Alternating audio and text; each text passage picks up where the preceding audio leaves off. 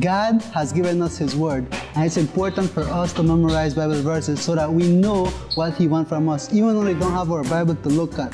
The Word wasn't meant for us to just keep in our head, but it was meant for us to put into action. So now let's learn some words to live by. Romans 5, verse 2 to 5. Because we believe Christ has brought us to the place where God can do us good.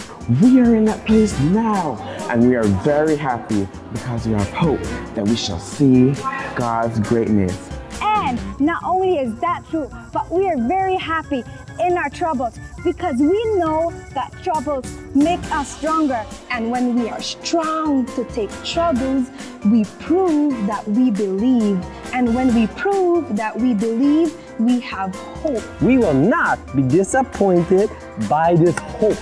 God has given us the Holy Spirit. And the Holy Spirit has put God's love into our hearts. BCE Belize Changing Belize.